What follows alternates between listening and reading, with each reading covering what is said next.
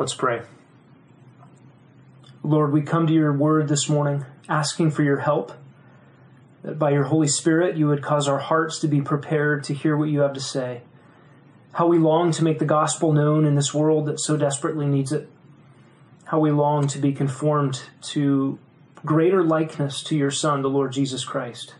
We pray that you would use these words in this text this morning for just those ends, uh, that we might love others well, that we might obey you, that a watching world may see the power of the gospel and may find everything in Jesus Christ. And we ask it in his name. Amen. John Wayne starred as Davy Crockett in the 1960 motion picture The Alamo. I watched it numerous times as a kid. I was required in my home to memorize this monologue republic. I like the sound of the word. It means people can live free, talk free, go or come, buy or sell, be drunk or sober, however they choose. Some words give you a feeling. Republic is one of those words. It makes me tight in the throat. The tightness in the throat that the man gets when his son takes his first shave or his first baby makes his first sounds as a man. Some words can give you a feeling that make your heart warm. Republic is one of those words. I memorized those words as a kid. I'm not sure if it was required for everyone born in Texas or if that was just a requirement in my own home. I was brought up to love liberty and to appreciate those whose sacrifices have secured the liberties that we enjoy in this country we arrived this morning at a section of our Bibles that deals with the relationship between Christians and government. We'll be studying the first seven verses of Romans 13 for the next four weeks, and really this morning is an introduction to the topic and an introduction really that will take us through the first verse. I want to warn you that this portion of Scripture is likely to step on some of our red, white, and blue toes.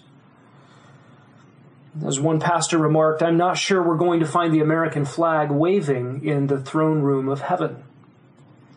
I want to give you the punchline of this text first. It's simply this Christian, you must submit to governing authorities. You must submit to governing authorities, whatever those authorities are. A Christian cannot be anti authoritarian. A Christian cannot be unsubmissive to authority. A Christian cannot be rebellious. A Christian cannot have a reputation for being a rabble rouser. A Christian cannot be a complainer, an agitator, or a violent protester. And what is at stake in this text for us is obedience to Christ. What is at stake for us in this text is the reputation of the church. What is at stake for us in this passage is the church's witness to the power of the gospel. That the gospel of Jesus Christ actually transforms life. It realigns our loyalties. It produces in us a love for others. And it produces in us an eternal perspective. The one that might cause us to say, I love this country, but it is not my home. Philippians 3:20 becomes our motto. Our citizenship is in heaven. I want you to turn in your Bibles to Romans chapter 13. And we're going to look together this morning at the first seven verses. Again, we'll probably get through verse 1 this morning and introduce the topic of the relationship of Christians to government. Here is God's word through the Apostle Paul to us believers. Every person is to be in subjection to the governing authorities. For there is no authority except from God, and those which exist are established by God. Therefore, whoever resists authority has opposed the ordinance of God, and they who have opposed will receive condemnation upon themselves. For rulers are not a cause of fear for good behavior, but for evil. Do you want to have no fear of authority? Do what is good, and you will have praise from the same. For it is a minister of God to you for good. But if you do what is evil, be afraid. For it does not bear the sword for nothing. For it is a minister of God, an avenger who brings wrath on the one who practices evil. Therefore, it is necessary to be in subjection, not only because of wrath, but also for conscience sake. For because of this, you also pay taxes, for rulers are servants of God, devoting themselves to this very thing. Render to all what is due them tax to whom tax is due, custom to whom custom, honor to whom honor, fear to whom fear.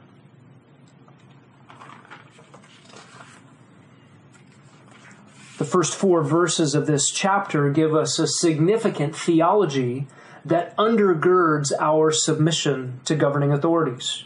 Verses 5 to 7 then give us motivations that undergird our submission and our support of governing authorities.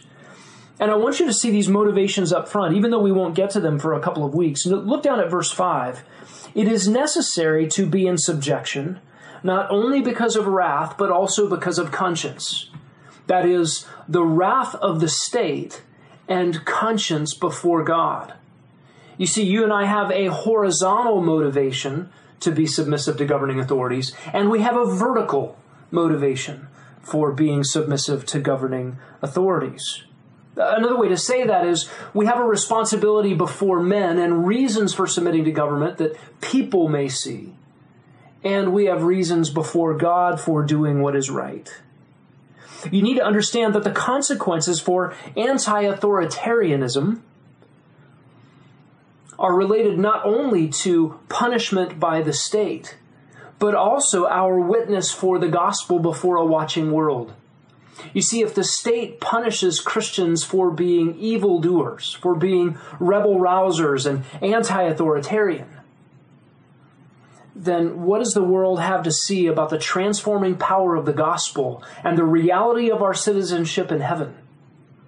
You see, our gospel proclamation is bound up in the way that we relate to authorities in our lives. And of course, the great motivation for us in this text is for conscience sake. That is our conscience before the Lord. It is about obedience to Christ. The sovereign of the universe, the king of all kings, the one who places and disposes human governments according to his will and his plan and his purposes for history. He is the one who is asking us to obey human authority in this text. We must do what is right and pleasing to God. So those motivations we'll get to more fully in a couple of weeks, but they ought to drive us from the very beginning to make sure we understand what God has to say to us from this text. Now I want to remind us where we are in the book of Romans.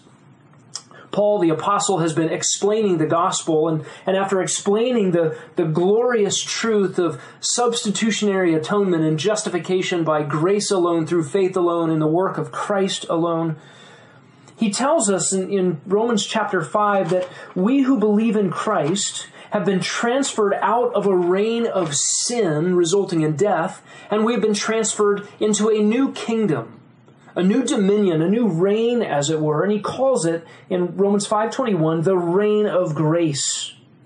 Just as sin reigned in death, in other words, sin's reign was total and universal, and it led inexorably toward our own eternal destruction so also we are under a new reign, a reign called grace, that kings or sovereigns, it reigns through righteousness to eternal life through Jesus Christ our Lord.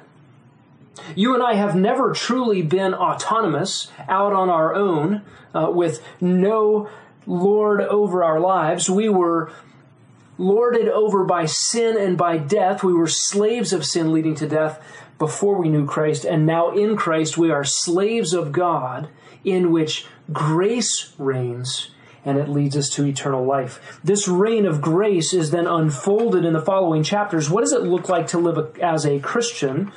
And this takes very real practical angles in Romans chapter 12. Remember there, Paul introduced us to the idea of therefore, based on everything the gospel brings into our lives, here is what the reign of grace looks like in flesh of blood. Therefore, he says, I urge you, brothers, by the mercies of God, to offer your bodies as living sacrifices, holy and pleasing to God.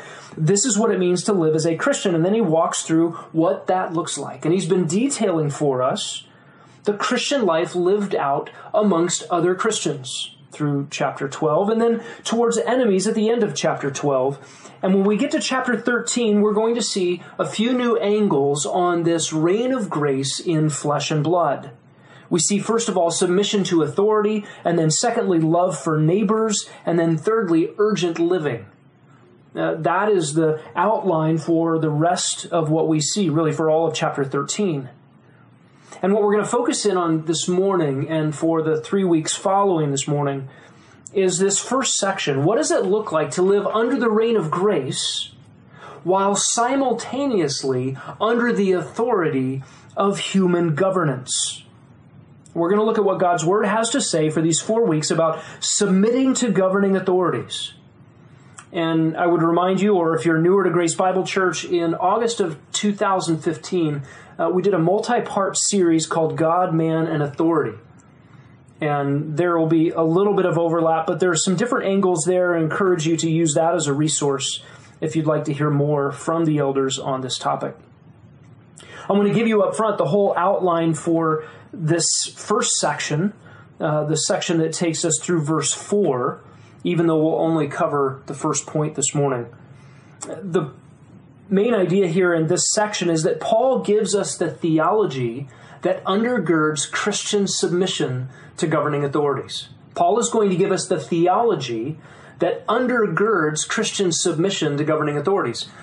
There are things you and I need to know about ourselves, there are things you and I need to know about God, and there are things you and I need to know about human government that are really going to help us obey this text. The main command there is in verse 1. Every person is to be in subjection to the governing authorities. That idea is repeated in verse 5. Therefore, it is necessary to be in subjection. And what you have in the first four verses are a set of theological truths that undergird that command to submit to governing authorities. The first one is that governing authorities are from God. That's in verse 1. The second is that resistance to governing authority actually is opposition to God. That's verse 2. Opposition to governing authority, number 3, brings trouble. That's in verses 2 and 3. Fourthly, governing authorities are God's servants for your good. Verse 4. And finally, governing authorities possess God given responsibility to punish. And that's in verse 4. So that's where we're going this week and next week. And this morning we're going to introduce this topic and dig into the first verse. And to introduce this passage, God in His providence has given us a remarkably timely backdrop the coronavirus. As of this weekend, over 50,000 Americans have died as a result of COVID 19 virus. And over the last 50 days or so, the United States government has taken a number of steps to decrease the spread and lessen the impact of that virus. Far reaching recommendations and regulations have affected nearly everyone in our country to varying degrees. Many have said that these measures are too little, too late, and they will probably be lifted too soon. Others complain that these measures are too much and have been in place too long and threaten livelihoods and even lives. Some are concerned about the impact of the virus on the health of Americans. Others are concerned about the impact of government overreach on the livelihoods of Americans. I do not intend to weigh in on that assessment this morning. I actually don't have the expectation that any human government has ever responded just right to a crisis while there will be plenty of those who adjudicate that decision, plenty of those who play armchair quarterback and say they should have done this, they should have done that, frankly, no government has ever done anything exactly right. There is always underachievement, overpromising, overbearing intrusion, wasted spending, inefficient use of resources, too little, too much, bad timing, corruption. This is the way of human governance. What I want us to contemplate this morning is not what should the governments of the world be doing? What should they have done? What can they do next? But rather, we need to be thinking from this text, what must Christians do? What must Christians do? That is the fundamental question for us. What would please my Savior? What does God demand of me? What has God equipped me to do?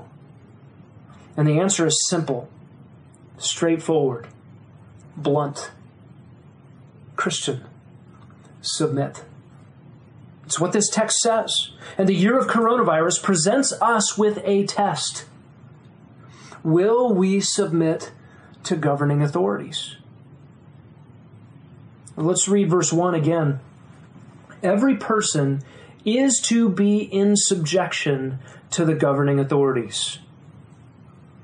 A lot of ink has been spilled attempting to explain away the clear instruction of this passage. Maybe in your own mind right now, you're thinking of all the hypothetical questions, all of the what ifs. Uh, you're imagining scenarios where maybe this injunction doesn't quite fit. I want to take some time to think together through some of those scenarios and some of those hypotheticals, but there's a very real danger that through nuance and hypothetical situations and those what if questions, we may obscure the clear import of this passage. And often we do that simply because I don't like what obedience to this passage might look like in my life, what it might mean for me. And so we'll say this now and we'll repeat it over these four weeks. The only exception to this demand for submission from Christians to governing authorities is when those authorities command Christians to do something that God expressly prohibits or forbids Christians to do something God expressly demands. That's the exception. And we'll unfold that in the weeks to come, or in the weeks to come. Now, you have to understand, Paul did not write Romans 13 with the United States of America in the 21st century in mind. We need to be careful not to read the United States and our current situation into Romans 13 in inappropriate ways. It's actually going to be important for us to dig into the geopolitical situation of the original audience. It's going to be helpful for us to understand the situation of the human author. I want this morning to put a few other texts in front of us so that we don't make the opposite mistake and suppose that Paul's instructions here were applicable only to some very specific temporary situation in Rome in the first century. This is going to be important for us. So, Jesus said in Jerusalem, Render to Caesar the things that are Caesar's, and to God the things that are God's. Matthew 22 21. Paul wrote to Timothy at Ephesus First of all, I urge that entreaties and prayers, petitions and thanksgivings be, be, be made on behalf of all men, for kings and all who are in authority, so that we may lead a tranquil and quiet life in all godliness and dignity. This is good and acceptable in the sight of God our Savior, who desires all men to be saved and to come to the knowledge of the truth. Therefore, I want the men in every place to pray, lifting up holy hands without wrath, without dissension. Paul similarly told Titus on the island of Crete remind believers to be subject to rulers, to authorities, to be obedient and to be ready for every good deed. Peter wrote to those who are scattered on the periphery of the Roman world Submit yourselves for the Lord's sake to every human institution, whether to a king as one in authority, or to governors as sent by him for the punishment of evildoers and the praise of those who do right. For such is the will of God that by doing right you may silence the ignorance of foolish men. Act as free men and do not use your freedom as a covering for evil, but use it as slaves of God. Honor all people, love the brotherhood, fear God, honor the king. And Peter says in 2 Peter 2:10, uh, as he describes those who indulge the flesh in corrupt desires, he says these fleshly people despise authority. They despise authority. So while it's going to be really helpful for us next week to investigate the original situation that Paul was writing into, that original situation will ground us. However, from the very beginning, uh, without apology, we're going to be drawing lines to our own situation in America in the 21st century. Because it is clear not only from Romans 13, but the other texts we just surveyed, that these are universal principles to be applied by all Christians in every era under any form of government. Here's the main idea Christians must submit to governing authorities. Christians must submit to governing authorities. And in verses 1 to 4, Paul gives us the theology that undergirds Christians' submission. Here's the first truth we need to know uh, this first undergirding buttress of theology. It's found there in verse 1. Governing authorities are from God. Governing authorities are from God. Look at verse 1 again. Every person is to be in subjection to the governing authorities. For, here's an explanation. There, this is a reason we have to be subject to governing authorities. For there is no authority except from God, and those which exist are established by God. There's no authority except from God, and those which exist are established by God. This is not just about one unique situation. And in Paul's day, uh, there was onerous taxation, current writers to Paul described. There had been Jewish rebellion against the Roman Empire fomenting for, for a hundred years. Uh, Claudius's expulsion of the Jews from Rome predates Paul's letter to the Romans. That caused problems. And then there was perhaps Christian disruption. As Christians came into Jewish communities, they were considered to be a sect of Judaism until the Jews rejected them. And then their very presence created some disruption for local governance. But notice Paul's universal wording here. Every person Literally every soul, and this is used at times in the New Testament to describe everybody. And he says they must be in subjection, that is, to be under, to be in a submissive relationship, to follow the orders of another. And they are to be in subjection to the authorities that are over them. Whatever those authorities may be. Notice Paul goes on and says, For there is no authority except from God. And nothing is stated about how these authorities got their power or got their position. The source here is God Himself. Every one of these authorities is from God. No exception. And those which are exist, those which exist, Paul says, are established by God. Remarkable way that he says this the those that exist is where we get the English phrase the powers that be. They are established by God. Those authorities which are the, the, the powers that are being, they are established by God. There's no authority except from God. There has never been a system of government that somehow emerged on its own, sneaking around the sovereignty of God, the ordaining of God, or the purpose of God, or the plan of God. Not Nebuchadnezzar, not Nero, not the Antichrist who is to come. God has never been surprised by the outcome of an election. God has never been startled by a military coup. God has never been taken unawares by rebellion, by a revolution.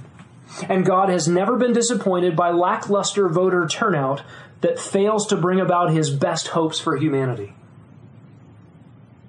Again, notice this phrase in the second part of verse 13. Those which exist are established by God. The ones that are being, everyone that is, everyone that has ever been, is made to stand. It is established by God. Whatever governing authorities exist, wherever they exist, and whenever they will exist, they are all established or made to stand by God Himself. So, this text most definitely gives instruction for us here this morning. The first reality we must grapple with, this theological underpinning for our submission, is that all governments come ultimately from God. These include our current federal and local and state administrations, and the previous administrations, and the next administrations, all from God. Every form of government falls under this statement. I want to consider for a few moments the various forms of human governance. This is not an exhaustive list. Some of these overlap, and there are others not named in this list. But just to give you a sampling of the kinds of governance that fall under this command.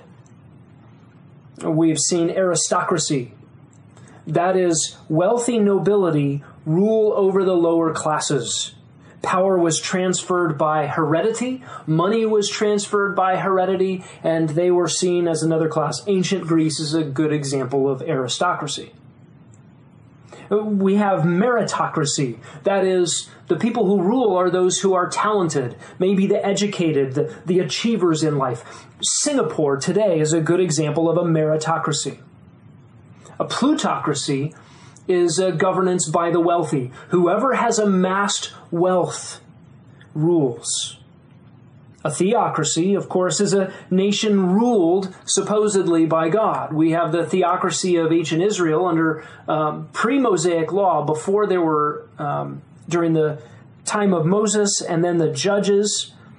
And then the theocracy essentially came to an end when it was replaced by the monarchy in Israel a modern day theocracy would be something like the nation of Iran, where the nation is ruled by a, a religious book and the political leaders are the clergy of that religion.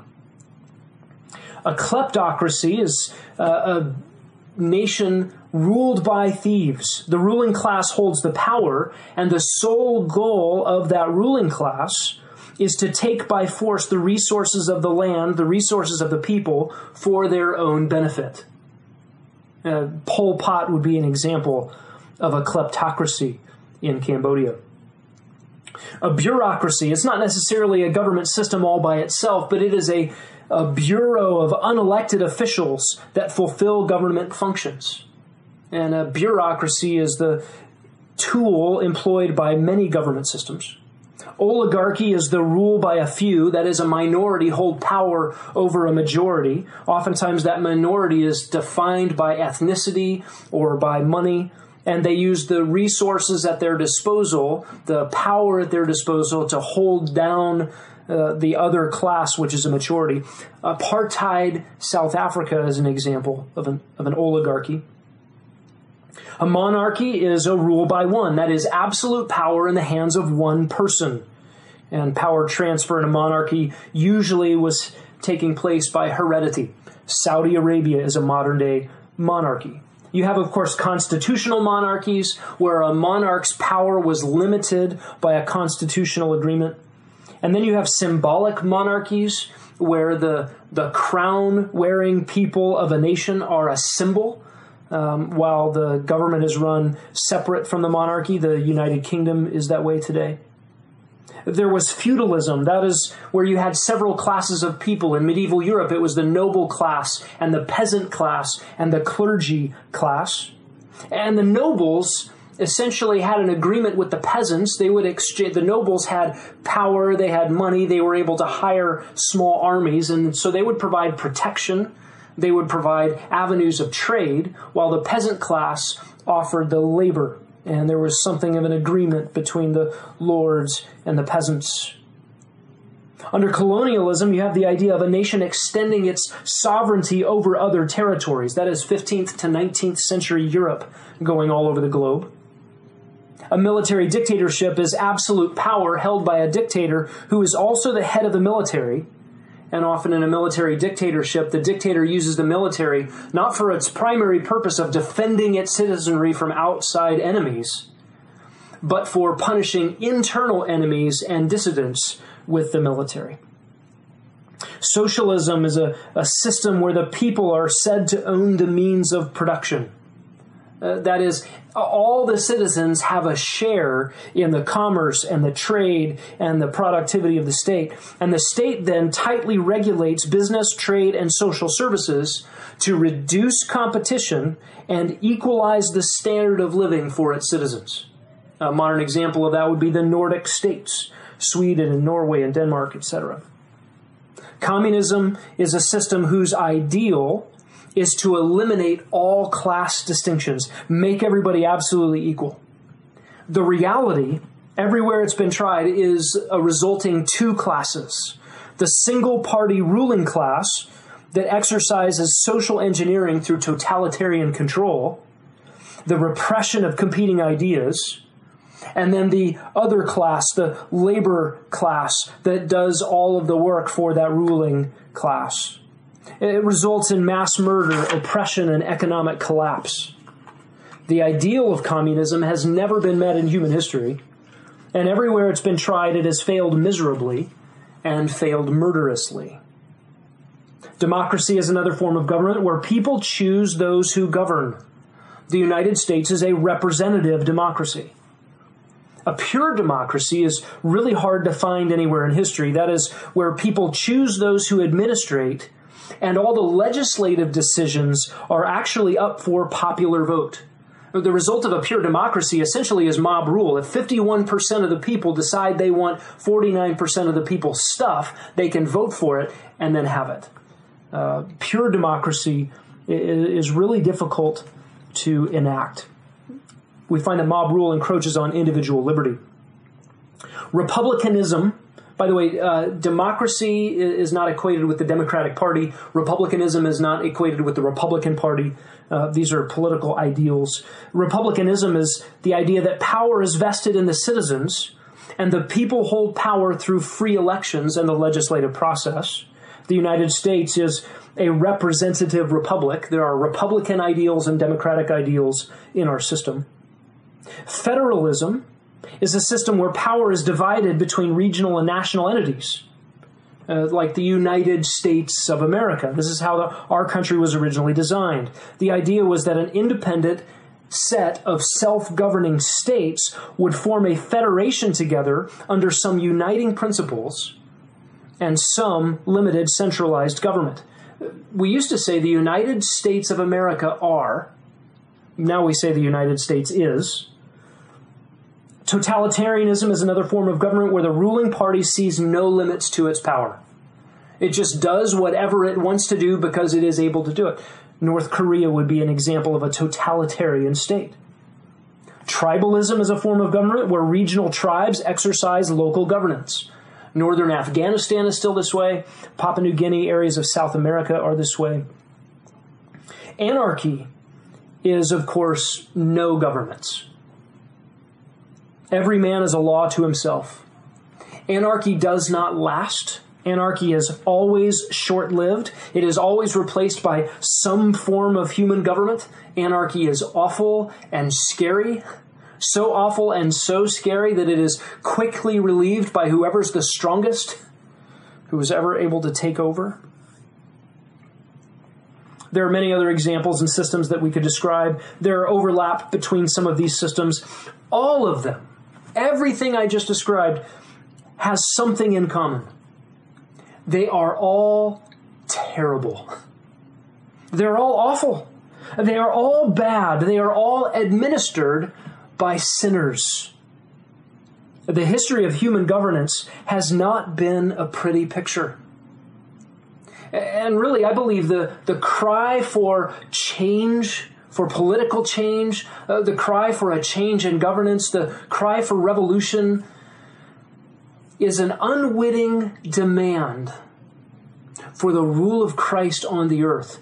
The only time in human history when governance will be sweet and good and without corruption.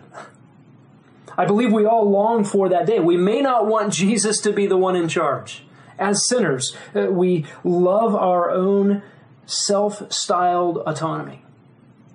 But the universal outcry against government by the citizens of every nation is a testimony to the fact that every aspect, every manifestation of human governance is awful. It's awful. It's awful and it's necessary and it's good and a gift from God, all bundled into one thing, and we're going to see that in this passage. Now, the United States of America is a pretty remarkable experiment in the history of human governance.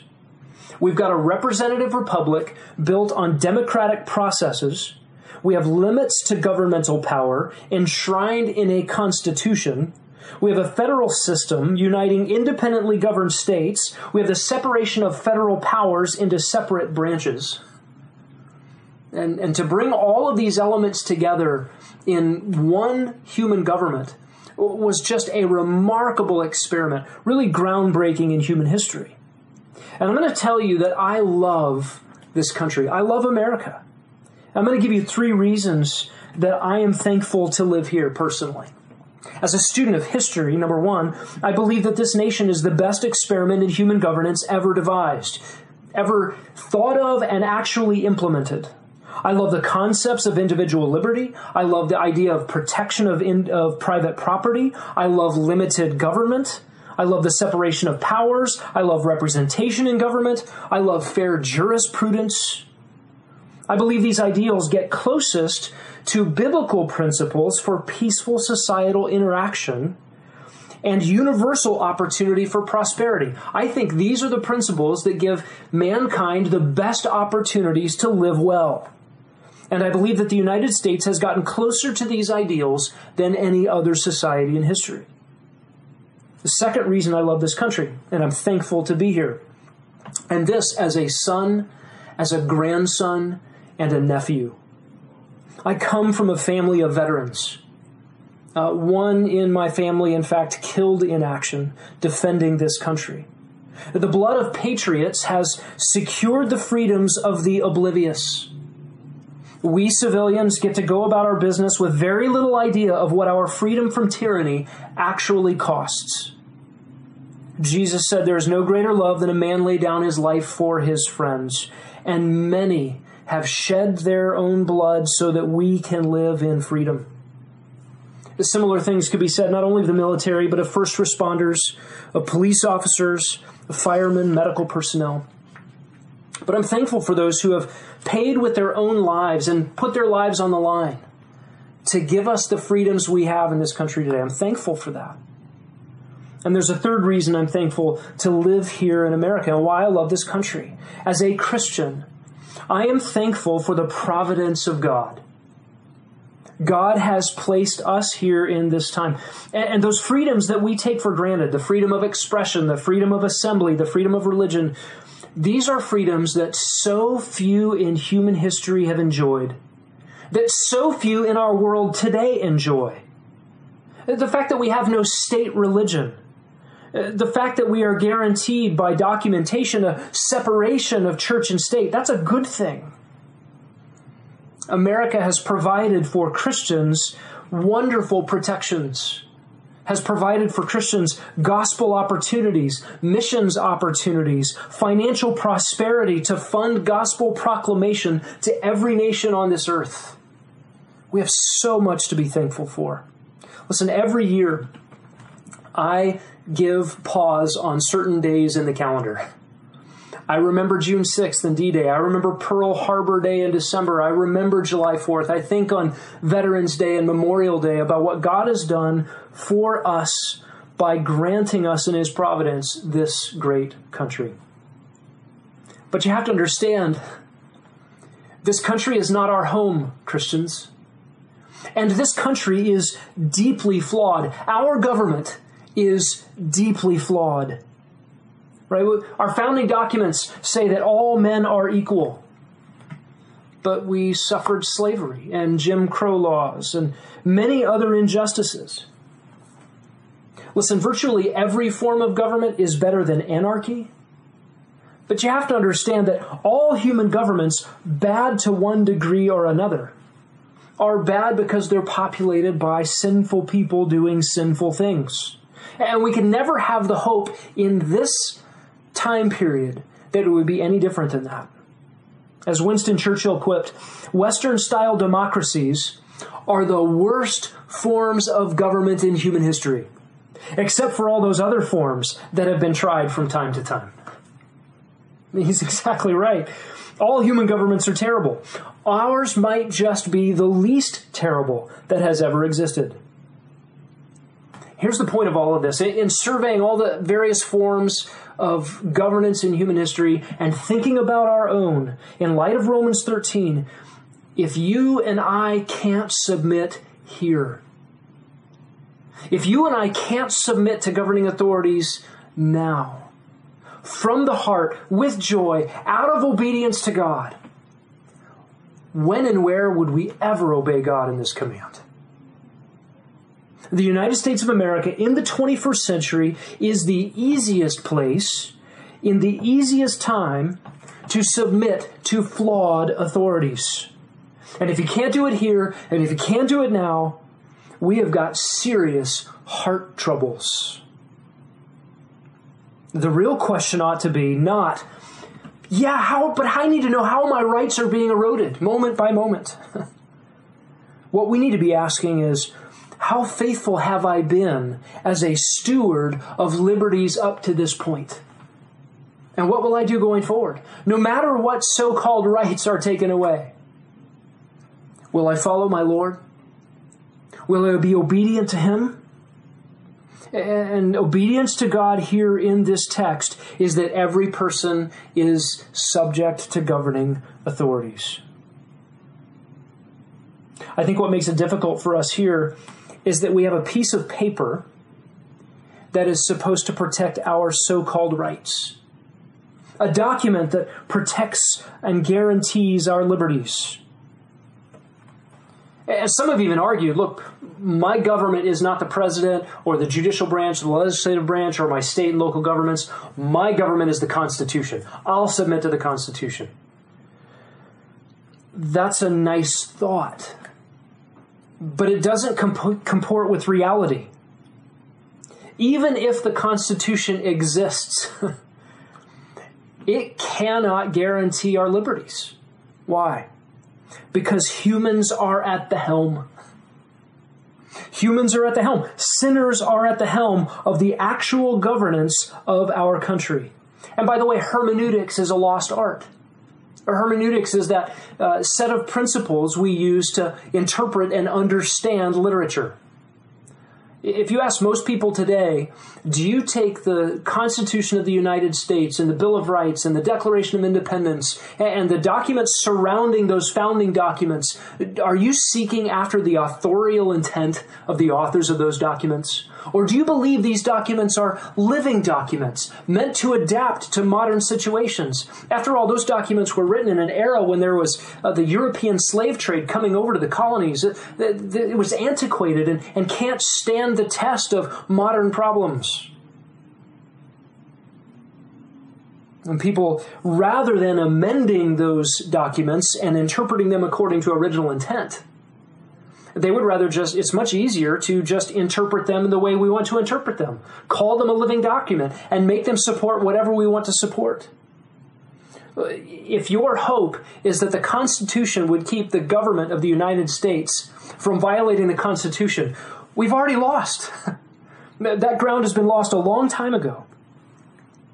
The idea that we have three separate branches of government. If your hope is in three branches and the division of powers, look, all of a sudden the, the judicial branch is legislating, the legislative branch thinks it's the executive branch, and the executive branch does what it wants. They've encroached on each other's territories. Our government today is full of corruption and bribes, pork barrel spending, backroom deals, insider trading and maybe to a lesser degree, probably to a lesser degree than most other governments in human history. But these things still infect our current government. And then at the popular level, people who have never been elected are willing to sacrifice other people's individual liberties to get what they want personally. Look, if I can vote in a way that fills my pocketbook with that guy's money, I'm all for it. I'm willing to benefit myself at the expense of other people. And the bottom line, the problem with our government, the problem with all human government, is that it is always administered by sinners. always administered by sinners. America's form of government is a government of the people, by the people, for the people. You know what that means? It's a government of the sinners, by the sinners, for the sinners. And look, it's a great thing that a division of powers, a division between branches, and then a division between federal and state and local governments. That's a good thing. It, it spreads out the depravity. Right? It, that's way better than the tyranny of one guy. You see three branches of government or a, a federal government fighting for uh, its territory and its turf against state governments. That actually slows things up and gunks up the works. If you've got three branches of sinners fighting each other for power, it limits the abilities of all of them to ruin the lives of the populace.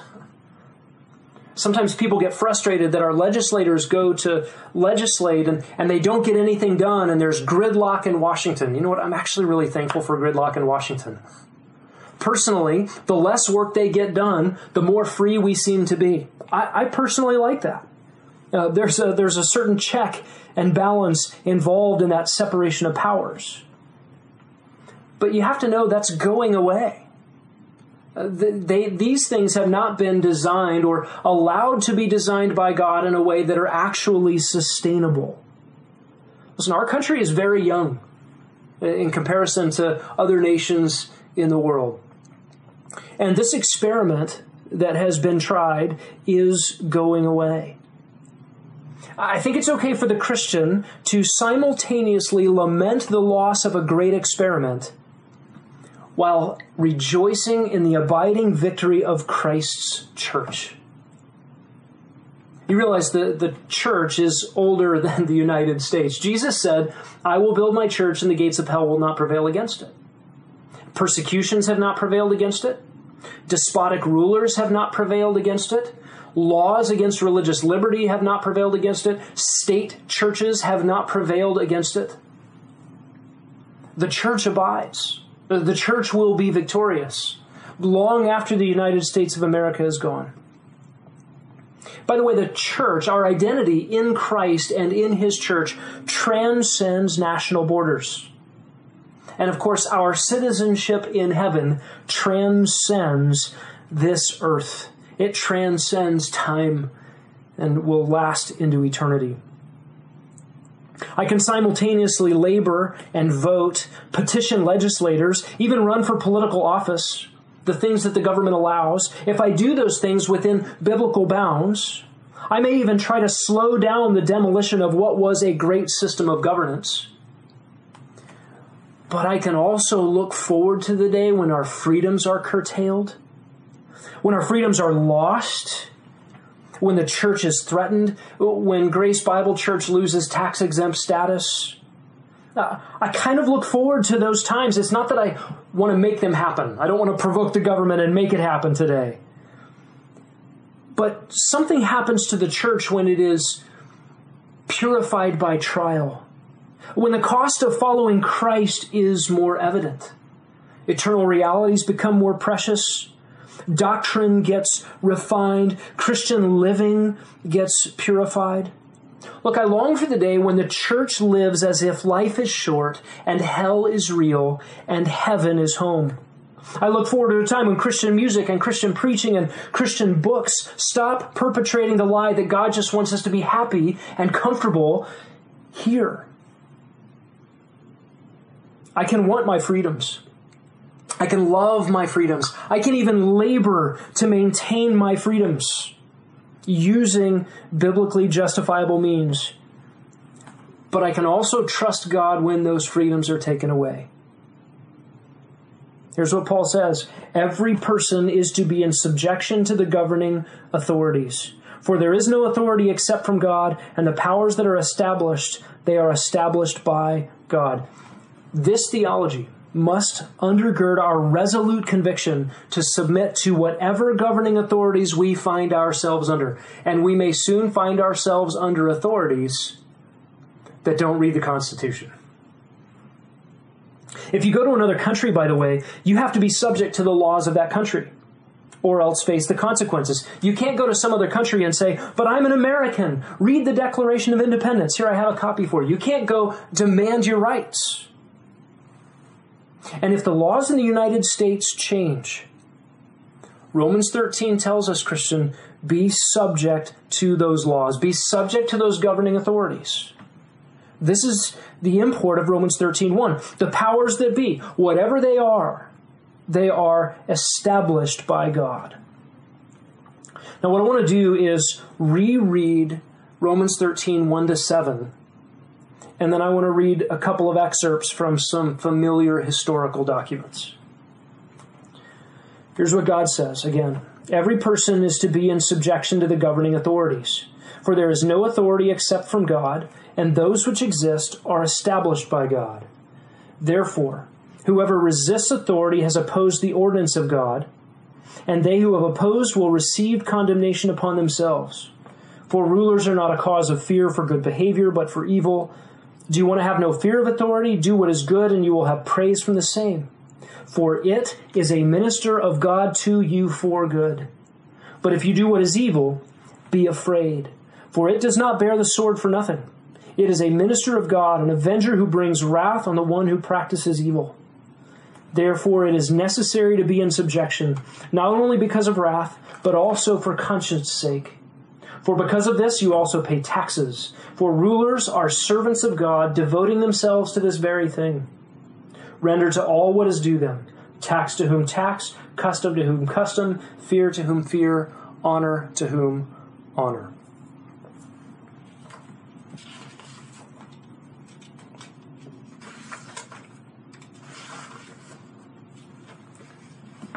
Pardon me one moment.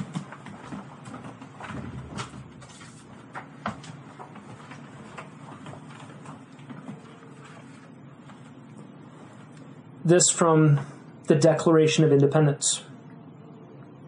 We hold these truths to be self evident that all men are created equal, that they are endowed by their Creator with certain unalienable rights, that among these are life, liberty, and the pursuit of happiness.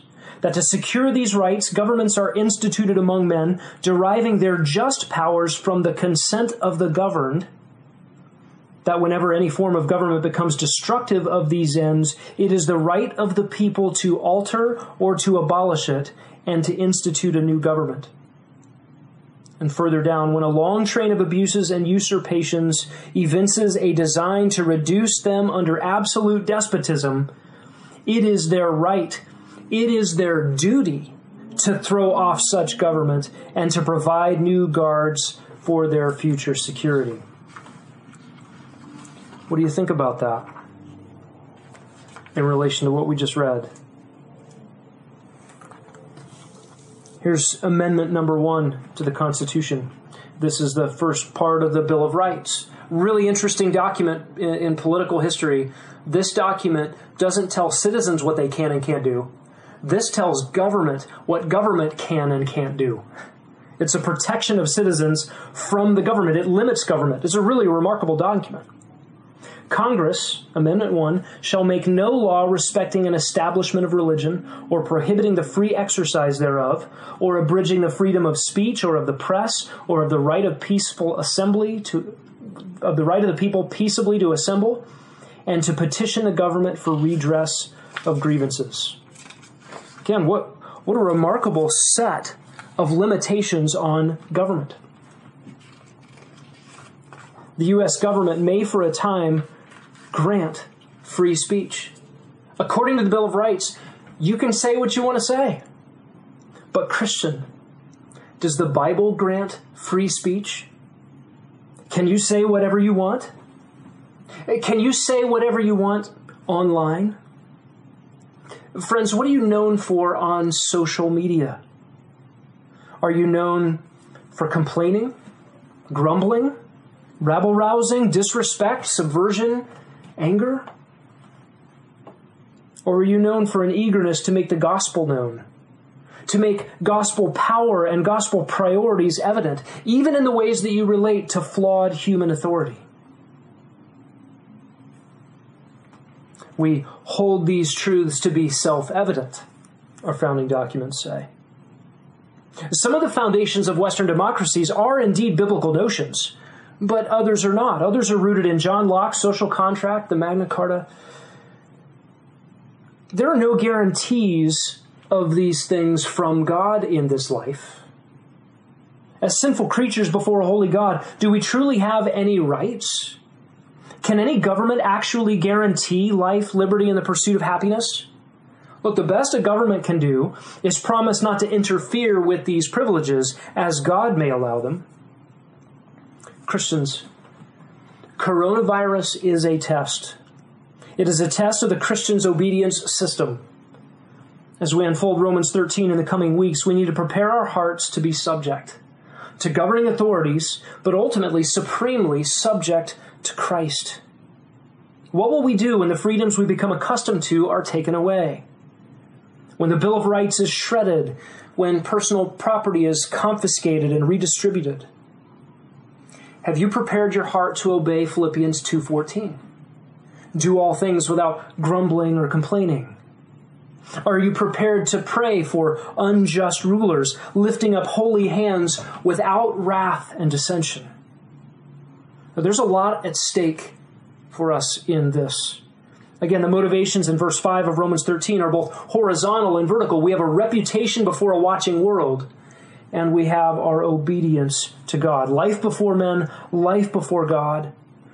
And a Christian must not be anti authoritarian. In fact, Christians ought to be the best of citizens, no matter the form of government they find themselves under. And the only exception to this is when earthly authorities command Christians to do God uh, command Christians to do something God expressly forbids or forbids something that God expressly demands. And even when that has to happen, even when we say we must obey God rather than men, there is a submissive manner in which to express this obedience to God rather than man. And we'll look at that in the lives of saints in the Old Testament, saints in the New Testament, and saints in church history. There are no doubt many questions formulating in your minds. We'll have opportunity this coming week to interact with pastors at Grace Bible Church. Um, one of those evenings will be devoted to uh, q&a over our relationship to governing authorities. So you can be thinking about those questions. Check the friday email update and uh, look for the link for one of those q&a's this week. Let's pray. God thank you for this text i know for me this text ruffles my patriotic feathers just a little bit it challenges me in the ways that I express myself related to governing authorities. I'm convicted about my lack of prayer um, for administrations, for human governance, for legislators. God, it reveals a, a weakness in my own heart to trust you with whatever situation you place us in. I pray, God, that you would use this text in my own heart, in my own life in the life of our church to prepare us for whatever is to come. I pray, God, that while we have such remarkable freedoms and such unprecedented prosperity, that we would use these things, employ them as tools for the propagation of the gospel, not only in Tempe and in this valley and in Arizona, but to the ends of the earth. God, we pray that we would be those who carry your name well and cannot be reproached for being those who would have no Lord, when indeed we serve the sovereign King of Kings. All for your glory, Lord. We pray it in Jesus' name. Amen.